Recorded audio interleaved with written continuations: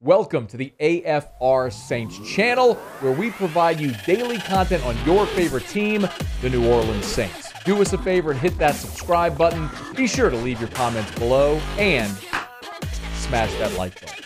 Who dat? So there was a report in the Orlando Sentinel over the weekend that the Miami Dolphins were ready to offer Sean Payton a five-year, one hundred million dollar contract. That's a staggering amount of money, and put into perspective this way: uh, Jon Gruden, when he agreed to join the Raiders back in 2018, signed a 100 million dollar contract, but that was a 10-year, 100 million dollar contract. Sean Payton's the what's being reported by the Orlando Sentinel, and again, this is singularly sourced. It's the Orlando Sentinel. No, it's not widely reported. It's but it's a paper of record there. It covers the Dolphins. Sean Payton's deal would have covered five years. I'm not great at math, but five years, hundred million, that's twenty million dollars per season. Sean Payton making north of eight million dollars was already considered one of the highest paid coaches in the NFL. Coaches' salaries not always made public. Five years, hundred million, twenty million a year. Looks like Stephen Ross was really serious about winning, making Tom Brady part of their ownership structure, bringing in Sean Payton. I mean, bonkers what they were trying to piece together. Now, it never materialized.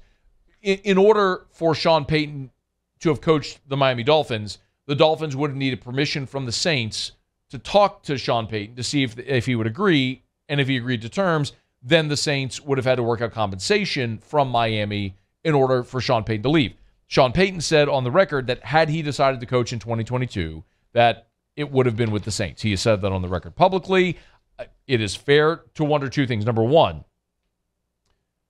it's easy for Sean Payton to say if he was going to coach in 2023, 2022, excuse me, um, in the 2022 season, that it only would have been with the Saints. It's easy to say that when you're not looking at a $100 million contract. Had that contract been offered, would he have taken it? It's hard to turn down nine figures. Ask you know, some of the guys that are going to play on, on the LIV tour right now. And the flip side of it too, though, is it's easy for the, for the Dolphins, someone anonymously to leak to the Orlando Sentinel. Yeah, we offered Sean Payton 100 years. We, we were prepared to offer Sean Payton 100 years, or 100, 100 years, 100 years. That's a long contract. 100 million over five years.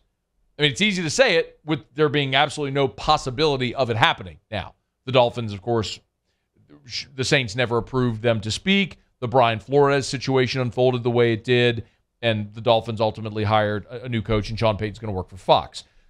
I guess for me, and for the Saints, the the bigger takeaway is not necessarily that the Dolphins were prepared to offer $100 million for Sean Payton. I, it's a report in the Orlando Sentinel, Pro Football Talk, and others that previously reported the Dolphins reached out to the Saints about Sean Payton. So clearly there was some degree of interest how deep was the interest, to what level it went, how far it got. That that all we may never know until Sean Payton maybe writes another tell-all book at some point in his career or after his career. I, I don't know. But I think maybe the most important thing for the Saints is to know that there is a market for Sean Payton still. And, and that maybe isn't a surprise. We all figured there would be, but we see this oftentimes with guys that become free agents, players primarily. They become free agents. They think the market is going to be something, and they're surprised to find out the market maybe isn't as robust as they thought.